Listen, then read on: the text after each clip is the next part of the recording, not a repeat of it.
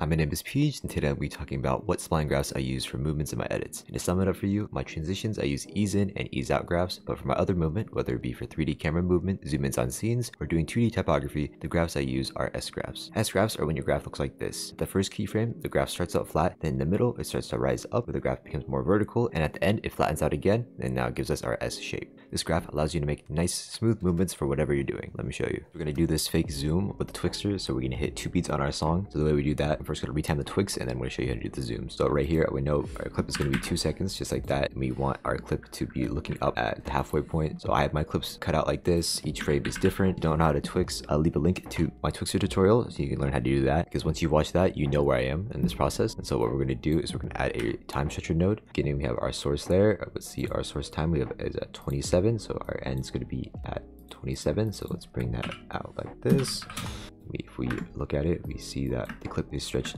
all the way here, and then we're gonna go towards the middle, which is gonna be at 24 frames, and then we're gonna keyframe at the middle, and you're gonna be at the part where she starts to look up, so around there, so it's gonna be like 11 frames right there, and then we're gonna open up our spline graph just like this, look at our source time, and then just make our curve something like this. So the way that I do this is that I make a curve like this and I make a curve like this. But since the middle is exactly where we need to sync it, what we're going to do is move these keyframes over and this is going to make our S graph just like this. It's an S graph because you can see this makes kind of like an S shape. So let's bring this over about like three frames and let's uh, readjust our time. So the steepest part of our spline graph will be uh, over the 24 frame mark, just like this.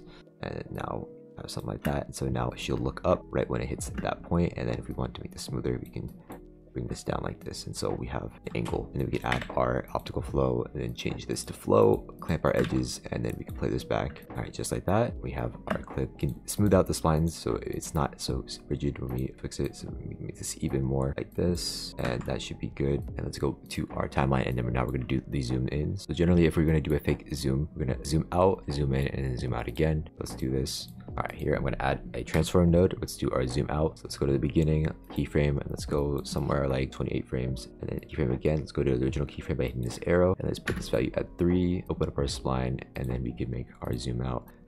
Control A, hit S to smooth out the keyframes, and then make our curve something like this. And that is good. And now we're gonna do our middle zoom. And so remember, we need to sync it on frame 24 like this. That's where exactly where our marker is. Let's add another transform node and let's go three frames back. One, two, three, keyframe, and then let's go forward bunch somewhere around here. We can keyframe and let's just zoom in the amount that we want. I usually do a value of over 0.2. So like if we have one, our value is at one, we need to go zoom in at 1.2 at the minimum in order to see the movement and that is recognizable. So we, we have that, we're gonna zoom to fit here, we're gonna control A all our frames. And let's make another S graph just like this. And so right over 24 is to be the steepest part of our graph. Hopefully if we just adjust it correctly like that and that should be good. Something like that will work. Now we if we look in when she looks up the spline graph will go like that. And then in order to finish our transition we're going to zoom out like this. Add another transform node keyframe at the end. Go five frames back keyframe again go back here and then we could zoom out just like this. And then to go around here because we don't want to show any motion tile and then adjust our spline graph like we've been doing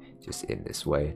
And now we have our loop just like this and so if I play it back you can see now that is our fake zoom in and then out. And that is how you do that. If you want a smoother impact for your zoom right here, all you have to do is bring this keyframe back and then realign where you want this to be. And then also you could bring this down. And so a little bit smoother like that. Otherwise you can keep it like this and it'll just zoom in much quicker. But if you think that your zoom is too stiff, try and moving your graph like this and making this overall line flatter. That's right in the middle. And this flatter the line, the smoother movement we will have. If you're interested in learning about how to make a Twitch shake in DaVinci Resolve, click this video right here. Otherwise, subscribe and have a good day.